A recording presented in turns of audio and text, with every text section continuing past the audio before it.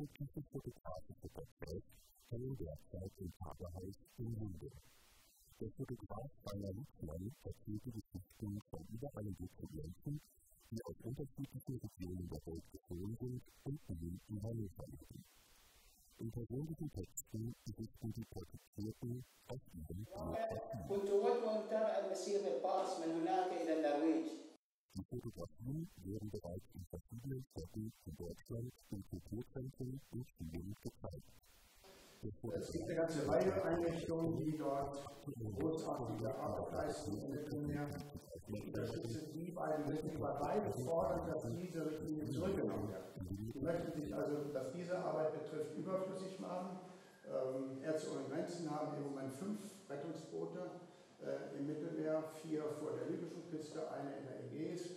Und Sea-Watch, das ist ja ein relativ kleiner Berliner Verein, haben eine.